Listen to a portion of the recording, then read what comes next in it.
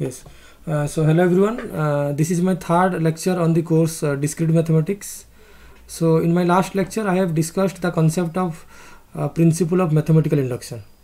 So in this lecture I am going to briefly discuss about the concept uh, like uh, predicates, quantifiers, theory of inference and different methods of proof. So let me start with the concept of predicates. So let us first see uh, what is a predicate. So a predicate is a statement uh, with a finite number of variables and the truth value of the predicate is going to depend upon the value of the variable present in the predicate. For example, uh, we will say x is greater than 2. So it is a predicate where is greater than 2 is the condition and x is called the subject of the predicate. So now we cannot predict the truth value of this predicate because it is going to depend upon the value of x. So this predicate it can be converted into a proposition by assigning some suitable values to the variable x. So here is the example. X less than 9 is a predicate. Because uh, already I have told that predicates are the kind of statement which contain some variable. And we cannot predict the truth value of a predicate. And clearly the second one uh, is a proposition and which is obtained by assigning uh, x equal to 4 here. Okay. So clearly we can mark here a predicate can be converted into a proposition by assigning some values to the variable present in the predicate. So this x less than 9 is a predicate. We cannot decide the truth value of this statement. It is going to depend upon the value of x. But 4 less than 9 is a proposition because this is a kind of statement whose truth value is true. So now we shall go for the formal definition of predicate. So a predicate or sometimes we call it a propositional function defined on a set A is denoted by Px. So Px define or denote a predicate defined on the variable x and this Px is said to be a predicate if the value Pa is either true or false for each A present in the set A. It means Px is going to be a predicate if we can decide the truth value of Pa for all A present in the given set A. So here this set A on which the predicate is defined is known as the domain of the predicate and another set TP and this set contain all elements for which PA is true and this set is called truth set of PX. So A is called the domain of predicate PX and TP is called the truth set of PX means the all element present in the set A for which PA is. So those A will be put in one set which is named as TP. Okay. So now given a predicate we cannot predict its truth value due to the presence of variable. So we can convert a predicate or as already told uh, it is called a propositional function. We can convert a predicate or propositional function into proposition by using any of these two methods. So the first method to convert a predicate to proposition is by assigning exact value to the variable present in the predicate, predicate, predicate. and the second method is using quantification also we can convert a predicate into proposition. So now uh, let us see the first technique to convert a predicate into proposition. So in the first technique, we have to assign some uh, exact value or suitable values of x to get or to predict the truth value of this predicate. For example, if px is a predicate uh, which is equal to x plus 1 equal to 5, so purely it is a predicate because of presence of this variable x and we cannot predict the truth value of this statement. So now px is predicate but here p1 and p4 are proposition. So p1 is obtained by assigning x equal to 1 and p4 is obtained by assigning x equal to 4. So if we are uh, substituting 1 here for p1 so it will be 2 equal to 5 so clearly it is false. So here p1 is a proposition with truth value false and uh, if we will substitute 4 here so 4 plus 1 equal to 5 uh, so it is true so clearly p4 is a, a proposition with truth value true so we saw here that a predicate can be converted into proposition by assigning some fixed value or suitable values to the variable present in a predicate. Here is another example. Uh, Px is a predicate uh, which implies x is the capital of Odisha. So it is a predicate because we don't know what is the value of x.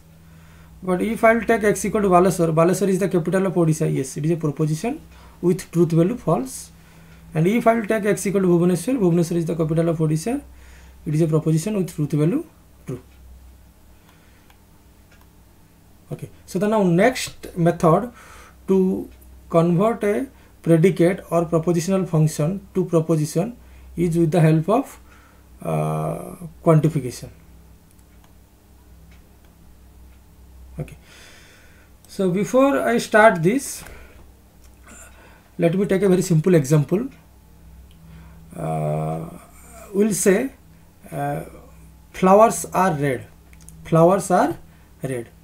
So we cannot predict the truth value of this statement because there are many flowers with many different colors. But if I will use a quantifier like for some or some or there exist. So I, I can say there exist some flower which are red. So now clearly I can validate the truth value of this statement which is true because there are some flower which are red okay so these are called quantifiers like some all all these are quantifiers. And through these quantifiers we can predict the truth value of some statements uh, like predicates.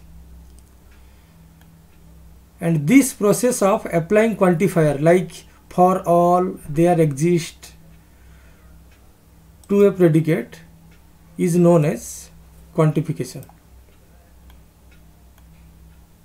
okay so basically there exist two kind of quantification. First one is universal quantification and second one is existential quantification. So the literal meaning of universal quantification is for all for all. So if we are given a predicate px and i want to apply that universal quantification then I will will write for all values of x px is that is called universal quantification. And the symbol for this universal quantification is this. So we read this particular uh, thing as for all x px. So this symbol for all this is called universal quantifier. Okay so clearly the symbol this reverse a is called universal quantifier.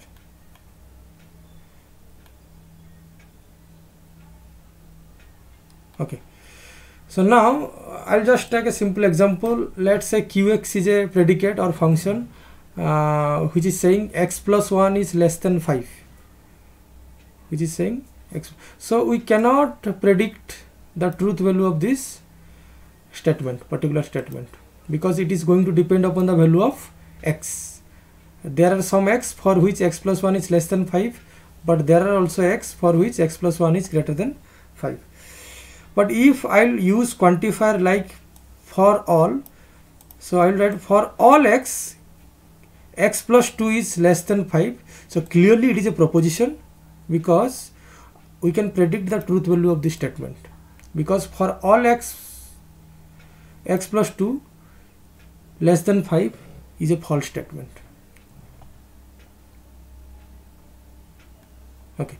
So this is uh, a kind of quantification that is a universal quantification where we use the words or phrase like for every x every x for any x.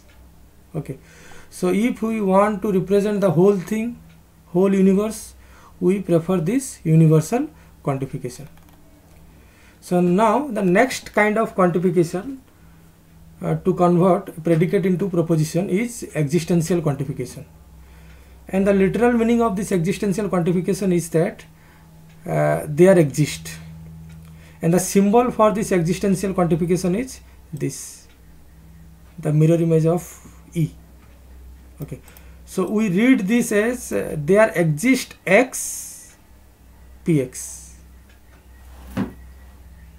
okay so this particular symbol is called existential quantifier. So we'll take a very simple example. So we'll write qx is a predicate or statement which denote x plus 1 less than 4 so clearly it is a predicate because we cannot predict the truth value of this statement because the truth value is going to depend upon the value of x. But if I will apply quantifier like existential quantifier to this statement then I can predict its truth value. So here I am applying existential quantification there exist. So there exist qx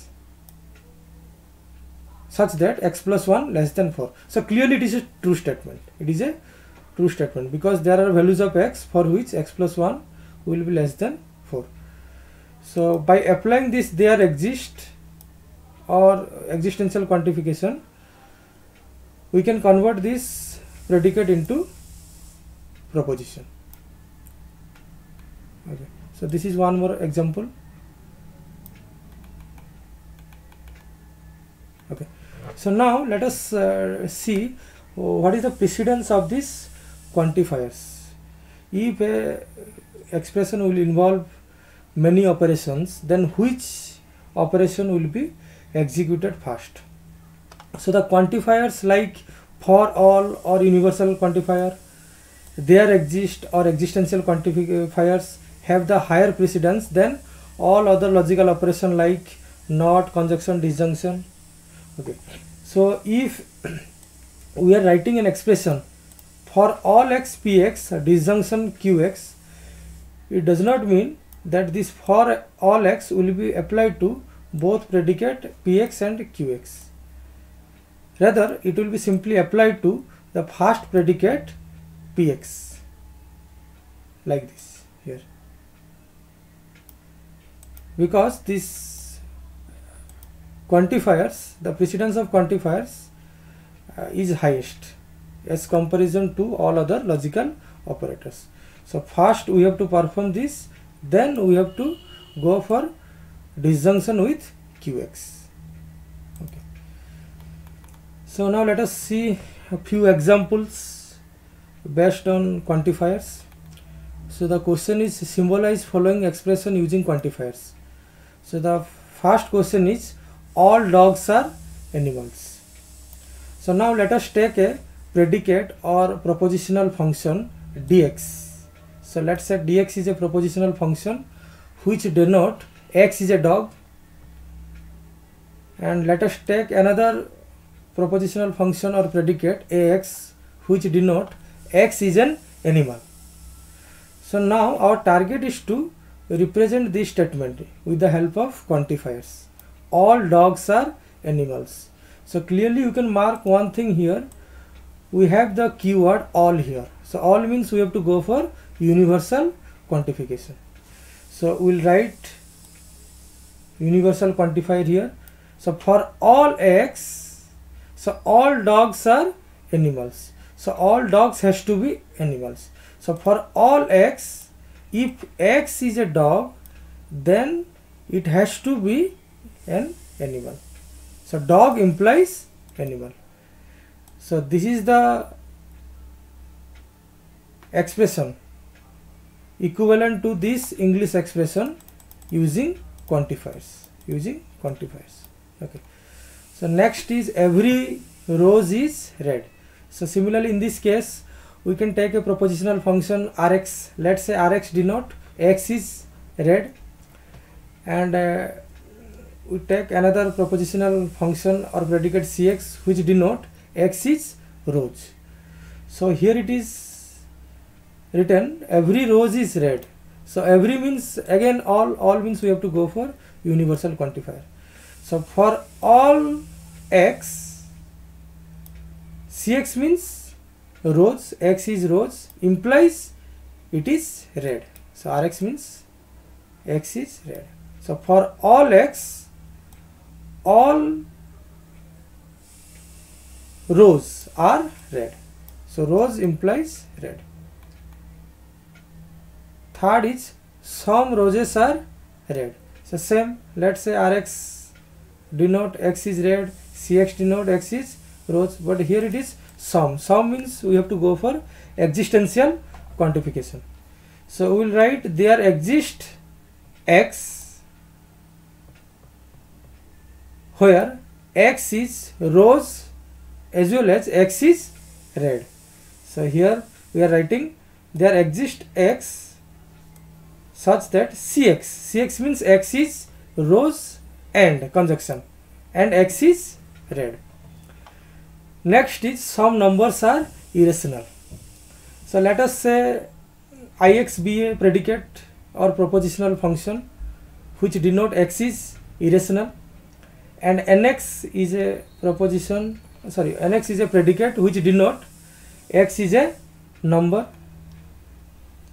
so some means again we have to go for existential quantifier so there exists x such that nx means what x is a number and at the same time it is also irrational so this notation using quantifier correspond to the English statement some numbers are irrational. Okay. So now let us see few more example symbolize the following statement using quantifier. Everyone in the final year has a cellular phone. Okay. So let us uh, consider the function propositional function cx so let's say cx denote x is in final year class and px denote that x has a cellular phone and everyone means it is clearly universal quantifier so we can write for all x if the student is in final year then has a cellular phone so we can write for all x cx implies px. Means if x is in final year then he or she has a cellular phone the second example is someone in your school has visited delhi so let us assume sx represent x is in your school and dx represent x has visited delhi. So someone means we have to go for existential quantifier and the symbol is this. So there exist x where x is in your school because x sx represent x is in your school and x has visited delhi okay so there are someone in your school who has visited delhi so this is the expression with the help of quantifiers which represent the statement someone in your school has visited Delhi. Okay. So like this you can also go through this example. Okay. So now uh, let us see how to negate the quantifiers means how to find the negation of quantifiers and this is also known as the De Morgan's law for quantifiers. So it is like negation of for all x px is logically equivalent to there exists x negation px so you can mark one thing here. The universal quantifier is changed to existential quantifier. And this negation outside is taken to inside. Similarly for the reverse case okay. So by taking suitable example you can verify this statement. Okay. So these are called uh, De Morgan's law for quantifiers or we can say uh, the negation of quantifiers okay. So now uh, this is a table which shows uh, how to quantify using two variables. Okay so you can just go through it. So for a minute i'm telling you just for all x for all y pxy so it is a kind of statement. Or we can write for all y for all x pxy so here i am just swapping this position. First writing x here then y but here first y then x. Okay so both are same. So now this particular thing will be true if pxy is true for all pair of xy. Clearly mark. For all pair of xy pxy should be true. Okay. So now when this will be false? Okay so there will be a pair xy for which this thing will become false. So likewise you can go through this table and uh, basically this is for uh, quantifying expression containing more than one variable. So it's for quantifying uh, two variables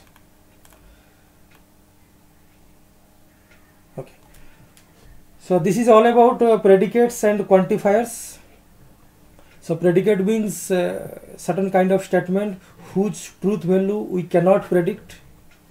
So yes, we can predict the truth value of uh, predicates by using two methods. First one is by assigning certain uh, suitable values to the variables present in the predicate and second method is by using suitable quantifiers.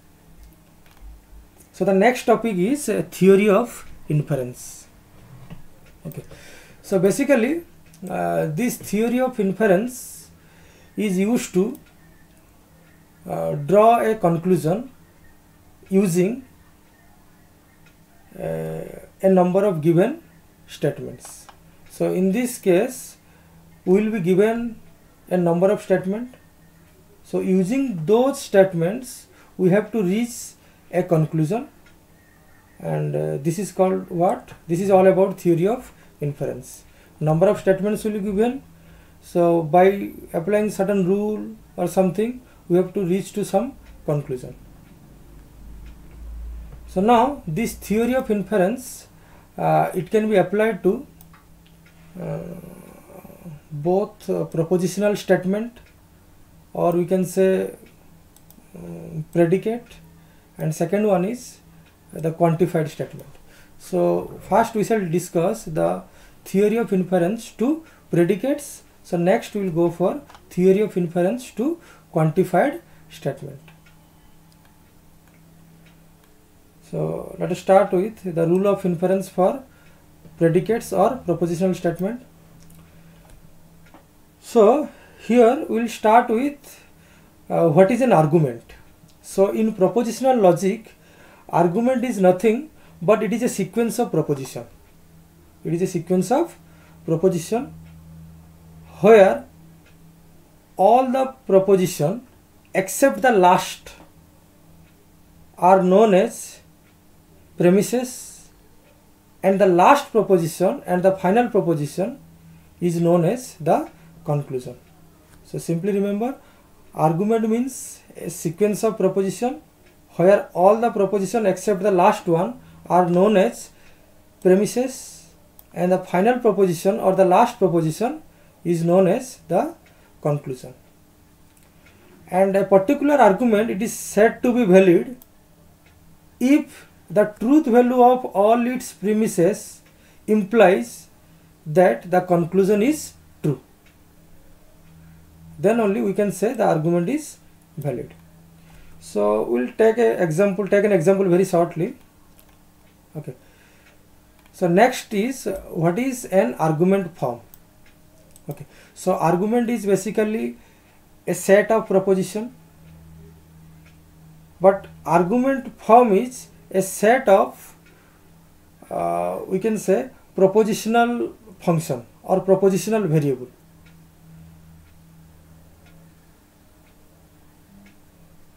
okay so an argument form can be converted into argument by assigning some suitable values to the propositional variable. Okay. So here our main target is to uh, draw the conclusion from a given set of statement. So let us assume in an argument p1 p2 p3 up to pn be the set of premises and uh, q be the uh, conclusion. Okay. So the total argument holds n plus 1 uh, proposition uh, that is uh, p1 to pn n statement then another statement for this conclusion that is so now this particular argument the set of premises with the conclusion q is said to be valid if this particular thing is a tautology. That is p1 conjunction p2 dot dot dot up to pn implies q is a tautology. So we can verify this either using a truth table or we will use certain inference rule. Okay. So now let us take an example. Uh, so let's say this is the first uh, statement of the argument. If you have a current password then you can log on to the network.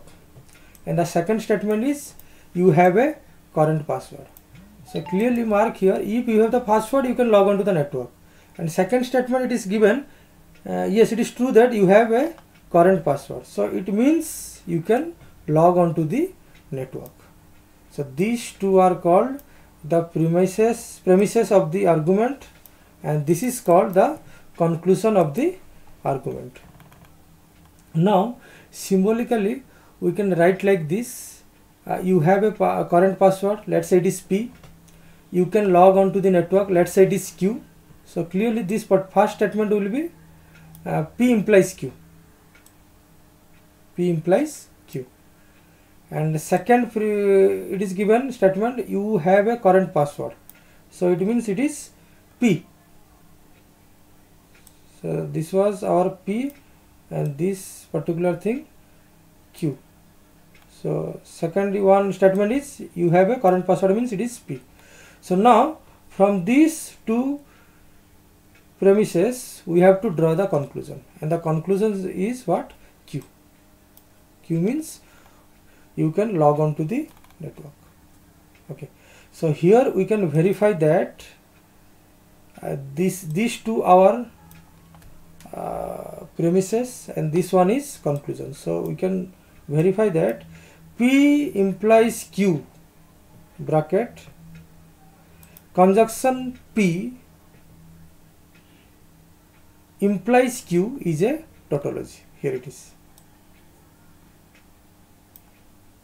So first statement conjunction second statement.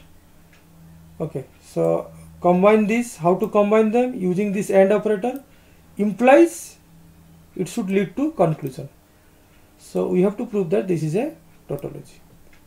Okay so then only we can prove that this particular argument is valid okay. So now there are many inference rule. Okay. So just go through this table. And uh, these are some standard rule of inference. Uh, so here the premises are premises are p and second one is uh, p implies q and the conclusion will be uh, q. Okay. So clearly we can verify p and this statement. So p conjunction p implies q implies q. So this particular rule of inference uh, is known as modus ponens. And the second one is uh, the premises are negation q and uh, p implies q. So the conclusion will be negation so here is the tautology.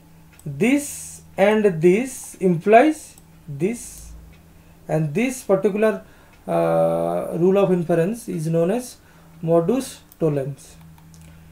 Uh, this is quite obvious like uh, that transitivity property. So p implies q and q implies r. These two are the uh, two statement and the conclusion is p implies r.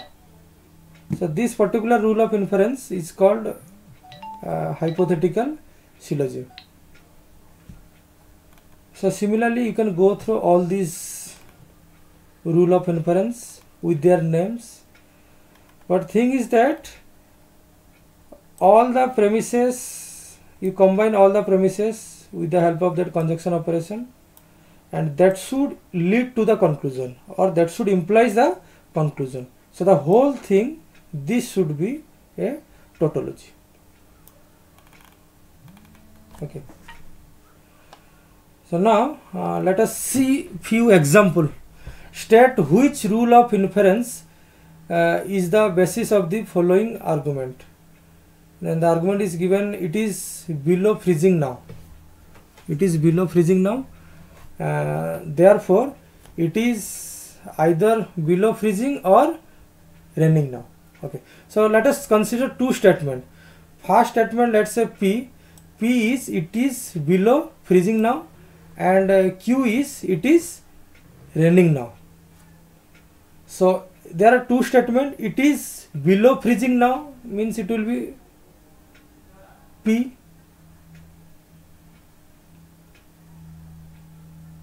okay so there are two statement. So this is the p one statement and the second statement is the conclusion. Okay. So p leads to what? P disjunction q. Means it is either freezing or raining. So it is freezing means p and it is raining means it is q. So p or q. So this particular thing belongs to which rule? Okay. So we can check here okay so here. So p implies p or q. So this is the rule of addition. So this inference rule is called rule of addition. So similarly uh, the second question is it is below freezing and raining now. So we can write like this uh, and means we have to use conjunction. So it is below freezing means p and it is raining means q. So p and q. And the conclusion is given. Therefore uh, it is below freezing now. So conclusion is freezing means it will be p. So this particular thing is according to which rule of inference? So let us see. P conjunction q implies p okay so p conjunction q implies p means this is the rule of simplification. Okay. Yes so it uses the rule of simplification. So like this there are examples. You can just go through them. Okay. So next is uh, the rules of inference for quantified statement. So just now we have finished the rule of inference for propositional variable or propositional function or predicate. So now we shall see how to apply these rules of inference to quantified statements. Means the statements involving quantifiers. So here we have to follow uh, mainly four different kind of rules. So first one is uh, rule us so i'll tell you in detail. Second one is rule ug uh, rule es then rule eg okay. So in uh, rule us us stand for actually universal specification. So it says what? If there is a universal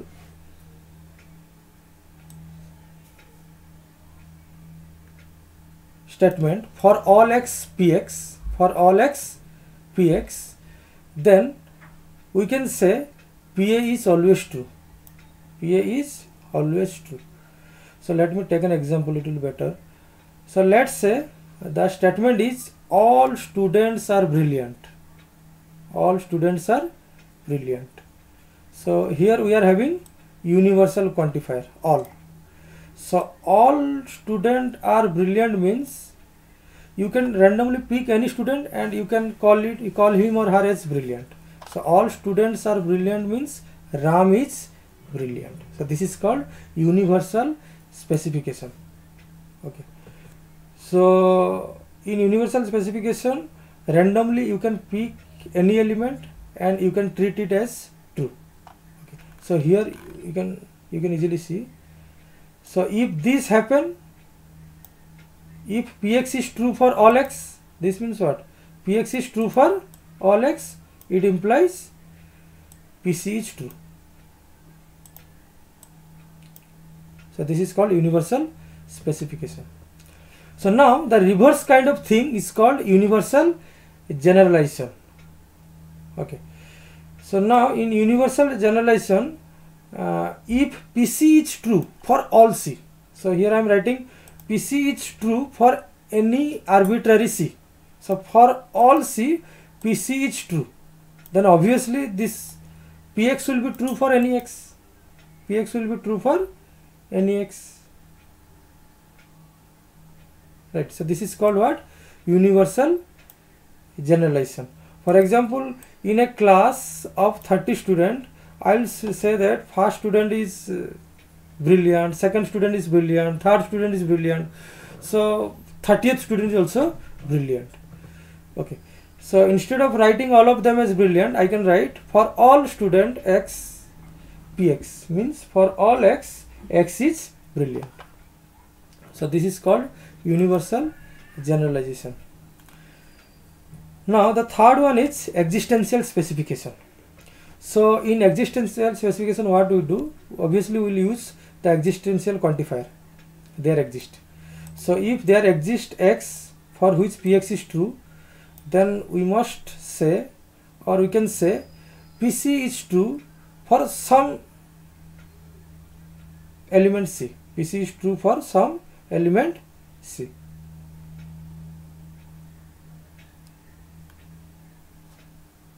Okay. So next is existential generalization. In existential generalization if we say pc is true for some element c then we can imply that there exists some x for which px is true.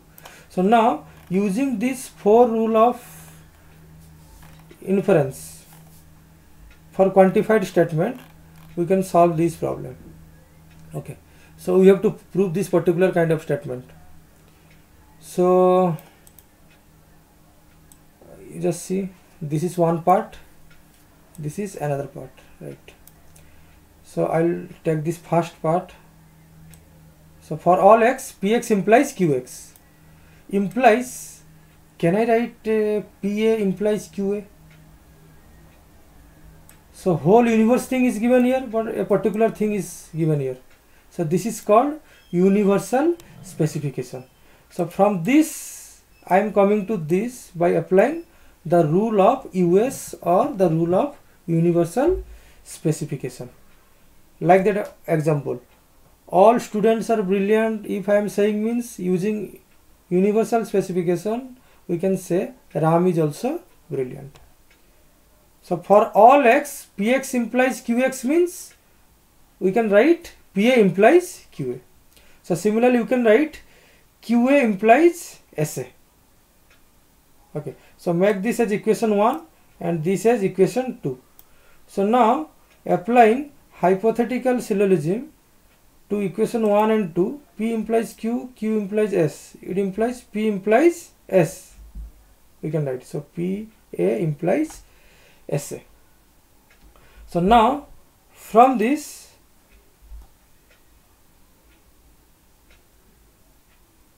we can write for all x px implies sx. Uh, here, uh, there is a printing mistake actually. So it will be universal generalization. It will be what? Universal generalization. So just make a note. Okay.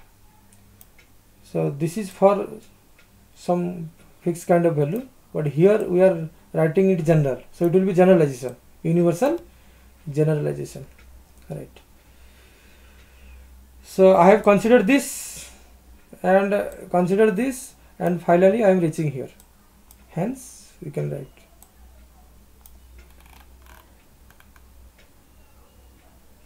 Okay. So like this there are many examples. You can just go through these examples and you just apply different uh, rules of inference for quantified statement and uh, try to reach the conclusion let's see this example. Okay.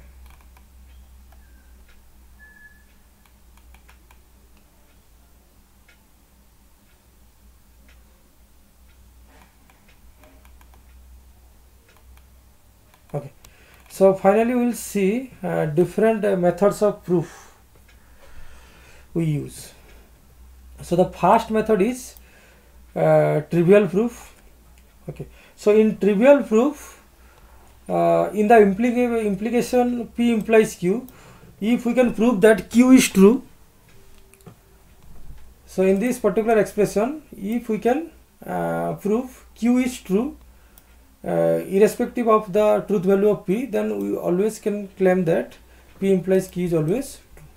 So this is going to be true depending upon the value of q.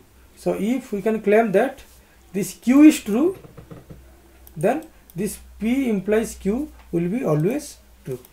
So this is uh, the trivial uh, kind of proof, proving a statement.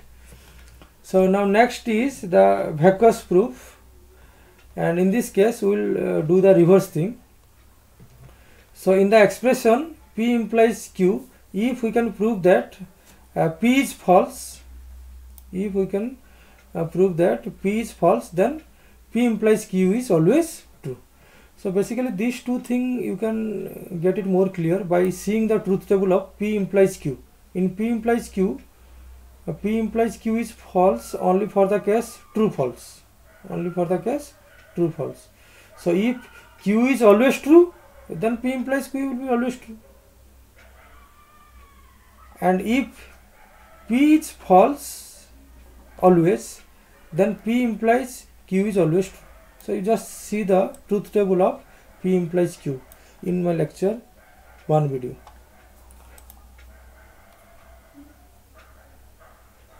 Okay. So the next uh, method of proof is direct proof.